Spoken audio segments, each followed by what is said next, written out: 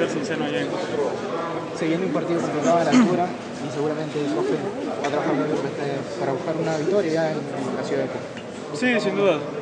Ayer estuvimos viendo el partido que, hizo, que planteó Cinciano contra, contra Melgar en Arequipa. Es un, un cuadro fuerte, sólido y sobre todo se hace más, más- importante en, en Cusco por la altura.